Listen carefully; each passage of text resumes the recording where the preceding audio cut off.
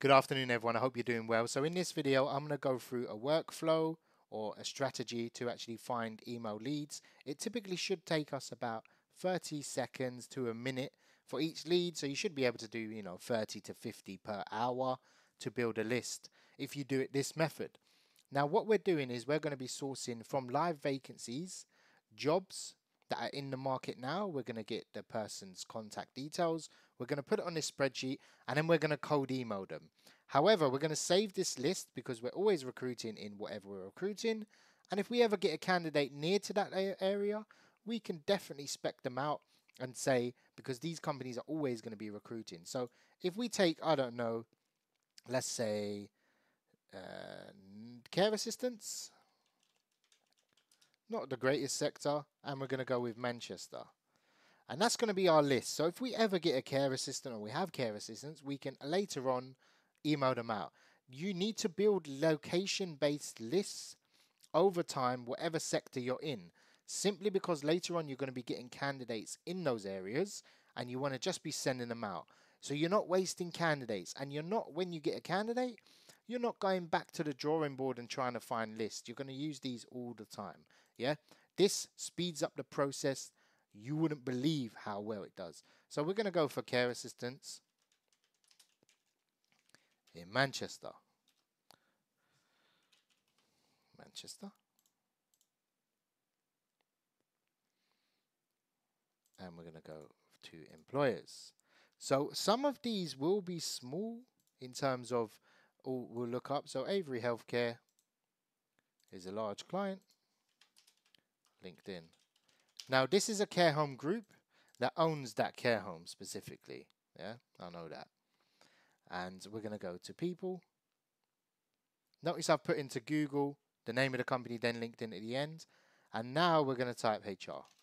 The reason we type HR first, if there's no HR, if it's a smaller company, we're going to probably find a lot of those. I would probably look in the location as well, where the vacancy is based. So I'm going to choose a HR business partner.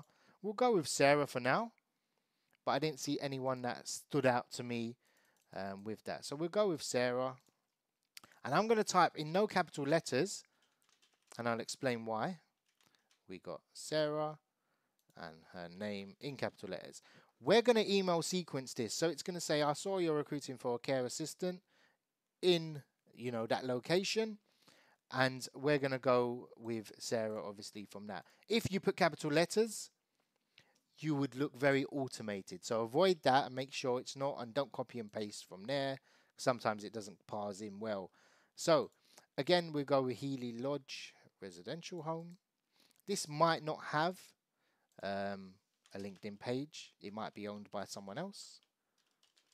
Again, this is taking me not too, too long. Uh, is this the person? I don't know. Probably not. Let's go back to the drawing board. So Be Cared, Eye Care Solutions. Okay, that looks like a franchise to me. Again, we're going to go to LinkedIn. Notice this isn't taking too long in terms of, I think this might go to a little profile. So they do NHS I think this is a dom domiciliary care uh, company. Again, we'll type in HR. No HR. So that's good. I wanted to show that. We want a registered manager, so the care manager in that home could be. But we could also look for operations manager. So let's just type in manager. If not, go to the owner, or I would go to the home manager.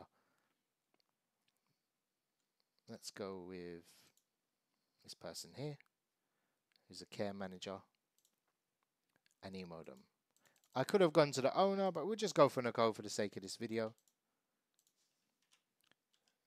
Nicola, again, care assistant from there. And this list you'll go through as you go. Spinal home cares.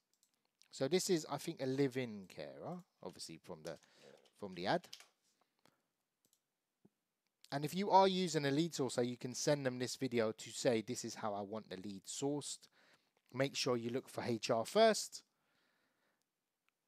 Perfect, no HR. So again, I'm going to go with owner. Founder, owner. Again, none, so we'll go with manager. Manager better come up. So we've got the recruitment manager, perfect.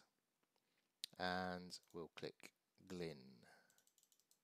So I always like to look at their profile. So he's been there a while. He might have um, recruitment agencies already working with, or he might do it all. Again, care assistant from there. So this took me maybe four or five minutes rambling on. Really and truly, a minute per lead is not too bad. So once you've populated this list, and you know you've you've gone out to the market and whatnot, you'll have a list that is there, yeah, and you'll have care assistants. So at any point you've uh, put an advert out, or you've come across a candidate and they've said, "Oh, I'm looking for a care assistant position in Manchester." This is a bit of a soft list. I don't have location specific in Manchester, but you could email them out. Manchester's very large, so I might even break it down in North Manchester, East Manchester, stuff like that, different postcodes. I don't know Manchester too fantastically. I know London well, so obviously I know how far it is to get to places. You would spec in candidates. You speak to a candidate and you say, Oh, I've got this position, I've got that position. You could say, Look, I have relationships with a lot of companies local. I could probably find you a job. So build these lists over time. My agency is very data based. Yeah. Most agencies that are successful are database. If you don't have these lists, whatever you're recruiting for, you're a step behind. There's a difference between if a recruiter comes up with a candidate and they've got a list to email out. This list is good for six six months maybe, maybe even more. You can go back and refresh these lists over time. Every month you can go into it. If you're outsourcing it, you can do that even better. But once you've got these lists, your agency will grow over time. You'll end up moving to a CRM. You'll get these CRMs parsed in along with the company. That's why I pay someone to actually run the data on my CRM because as soon as I get a candidate, they're emailed out to companies. Don't be recruiting the old fashioned slow way where you get a candidate and now I've got to go to Indeed and spend half a day. You will lose in the long term. You will kill yourself. You're recruiting, people make recruitment so difficult. Recruitment is your matching. You have the tools and the arsenal to match candidates if you have the data. If you aren't building lists and you don't have the data, you're finished in the market. You're too slow. This isn't a market for slow paced people. And you should especially be doing this, especially if you are running a temp desk. Perm, not so much, but temp, this is all based on that. Yeah, over time. So I hope you found some value in this video. It's been a short one. Sorry if I rambled on, but the point I'm trying to make in this video is have some data please in your agency. If you ain't got no clients or candidates, at least have some data. Yeah. All the best.